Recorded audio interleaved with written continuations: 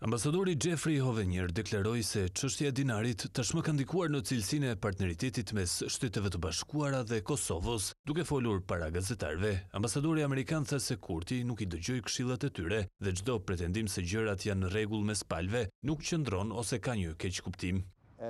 Siç deklaroi ndihmës sekretari O'Brien, kjo situatë tashmë ka ndikuar në cilësinë e partneritetit tonë mes dy qeverive tona. Çdo sugjerim për të kundërtën pasqyron një keqkuptim themelor, ose një interpretim të rëndësisë që ne i kushtojmë zgjidhjes së kësaj çështjeje në një mënyrë që i përgjigjet shqetësimeve tona.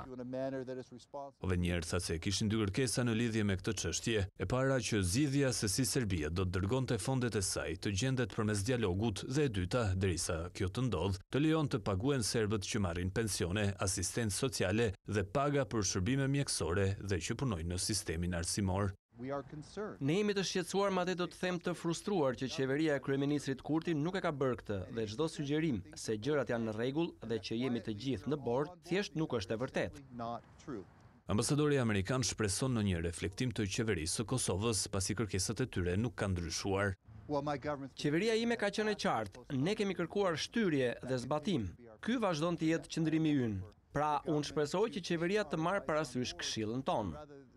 Ambasadori amerikan tha se aktualisht nuk mund të flasë për masa ndëshkuese ndaj Kosovës në rast se nuk ndryshon qëndrim për ndalimin e qarkullimit të dinarit.